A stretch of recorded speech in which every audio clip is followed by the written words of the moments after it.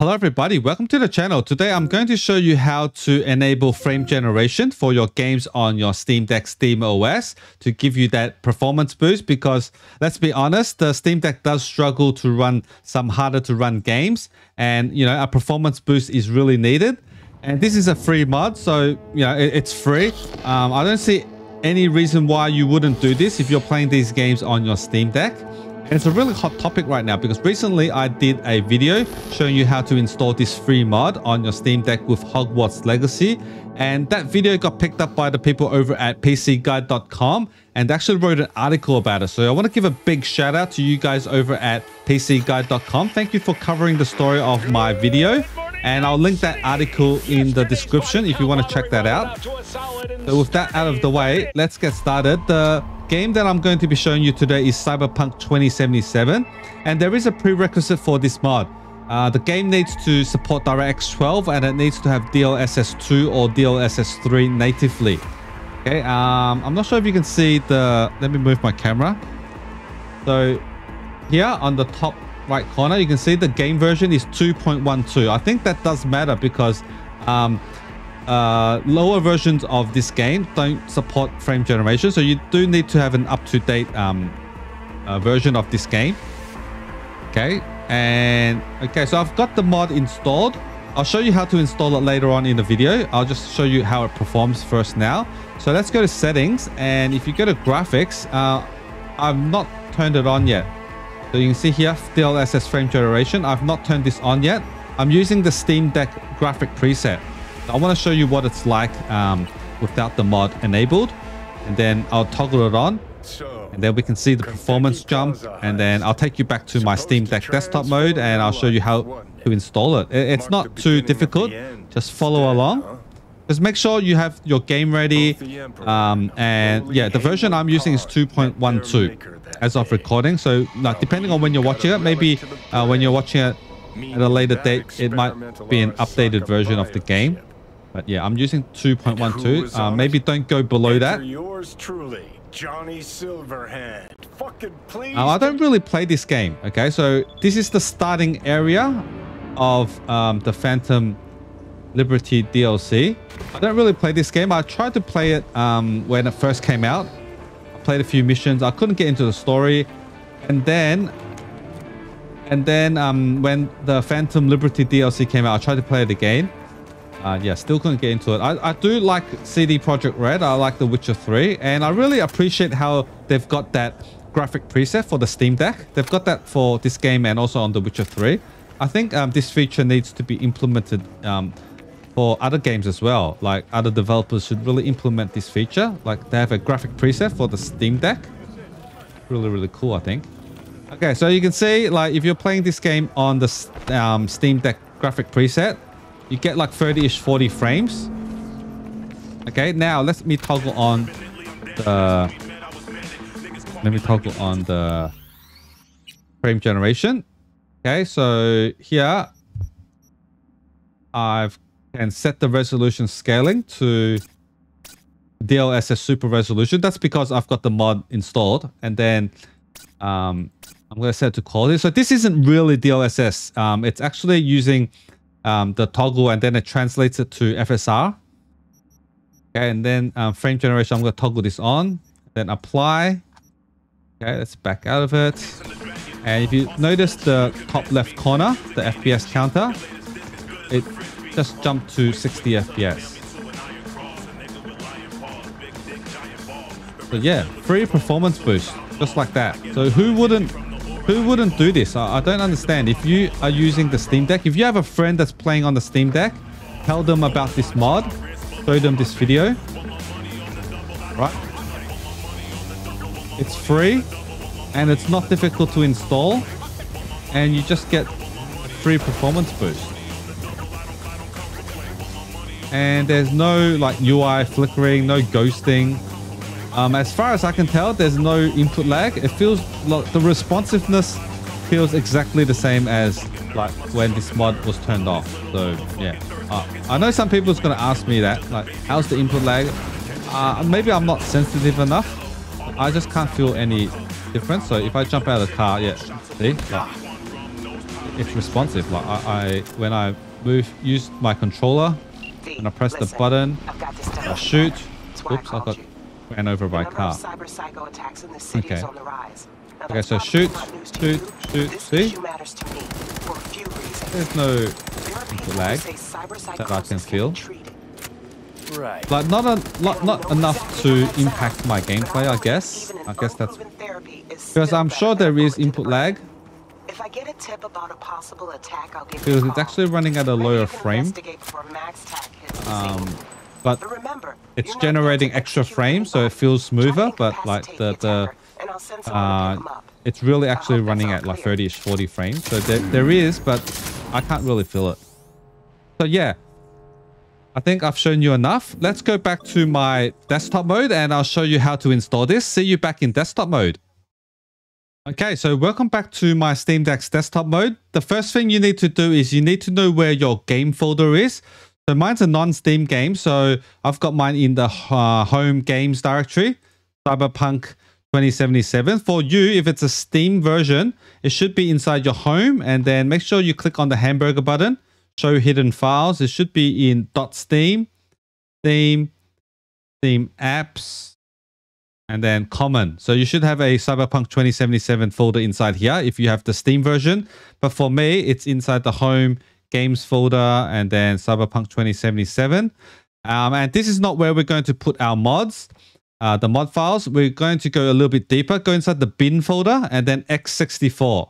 So this is where we're going to put our mod files. And then the second thing you need to do is download the mod. So I'll link this page in the description. Um, it's a Nexus mods page. Uh, the mod is called DLSS Enabler. It's free. So go here and then go to Files and then get the latest version, manual download. And then here it says something about the reg files. Um, I'll show you what to do later on. You don't have to worry about that now. Just click on download and then um, slow download. For me, I'm using a free account. If you have a premium account, go download the fast one. And then, um, yeah, it's downloading. Okay, so I'm downloading the, the mod. It's an exe. So, yeah, if you're worried about it's a virus, it could be. So, do it at your own risk. And then what you need to do is you need to have Proton Tricks. So if you don't have Proton Tricks, go to your taskbar here, discover Software Center. In the search bar, type Proton Tricks. And you see this red wine glass icon, this app, you need to get it. Go install it. I already have it. And I assumed you already like run the game already once. So, you know, your Steam Deck has the prefix folder. And then you should see your game in here. I've got mine right here, non-Steam shortcut, Cyberpunk 2077. Double click it. Wait for a bit. Uh, don't panic. It's doing its thing. It's loading up the prefix folder. And then, um, yeah, just wait for it to pop up like this. And then select the default wine prefix. Click OK. Yeah, run uninstaller. Okay. Okay, and then install. And then go to your downloads folder and select the exe that you just downloaded. That's the mod installer. Open. And this is the installer. I accept the agreement. Next. Next. And then here, you need to install it to a directory. Okay, so we want to install to our game directory. So click browse and see if you can find it. Sometimes you can't. Okay, so Z drive is where my like Steam Deck internal SSD is. So home, and we should have a like games folder, which I don't have here. So I'm not sure why sometimes it just doesn't recognize it. So there is a workaround. I can probably just here and copy copy the, the path, copy, and then here just type Z drive and then paste, paste the path. Next. Okay, it doesn't exist. So do you want to create it? I don't think that's a good idea. So there is another workaround if you have this problem. So just go to your downloads page uh, folder and then just create a folder. I'm just going to create a folder called DLSS enabler. Okay, so I'm just going to um, install the mod here. Oops. Okay, so browse. Let's just find that. Let's find downloads. And here, DLSS enabler. So I'll just create this folder. Just going to in install the mod there. Okay, and then here I'm just going to install DLSS enabler, the version.dll file, and then here enable support for AMD and Intel GPUs because we're on the Steam Deck and it's using an AMD GPU. So make sure you check this. Click next, install, and we don't need to read the README file. Uncheck this, finish.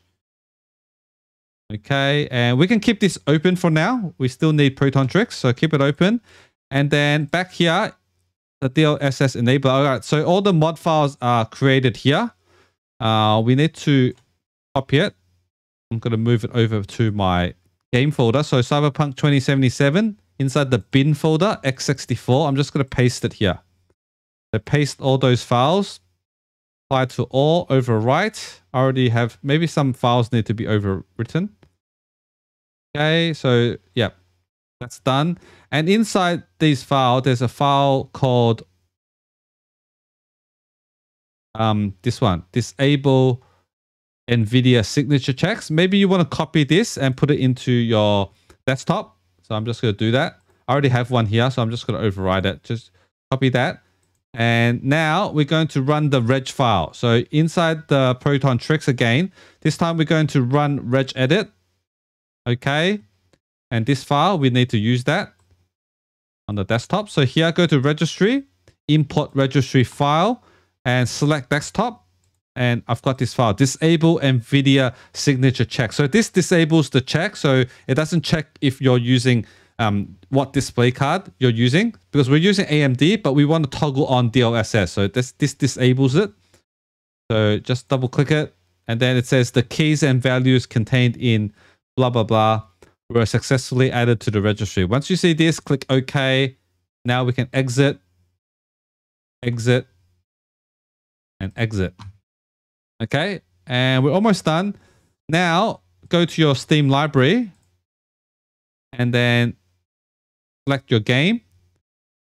Here icon, properties. Make sure you have this launch option. So it's wine DLL overrides equals quotation marks version, comma, DXGI equals N, comma, B, close the quotation marks, space, percentage, command, percentage. Okay. I'll link this, uh, like I'll, I'll put this in the description. You can copy it and paste it if you, you know, you might have a typo. So you can just copy and paste that. And then, yeah, just run the game. And we should be able to um, toggle on DLSS and frame generation. So let's run the game in desktop mode and it works in gaming mode. I just showed you gaming mode um, at the start of the video. This is um, desktop mode.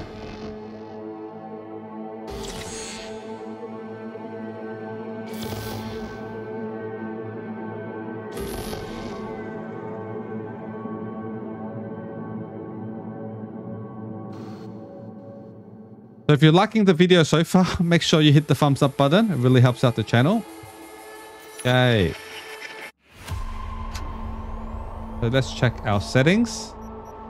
Settings, graphics. Okay, you can see here, yeah, the resolution scale, you can see we can select DLSS, super resolution, and then quality, then frame generation. We can toggle this on and off.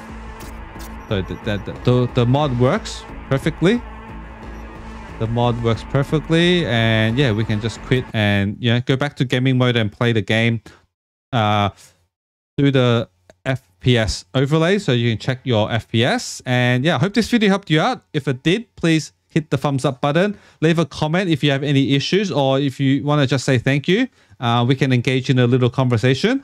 And yeah, I'll see you guys in the next one. Later.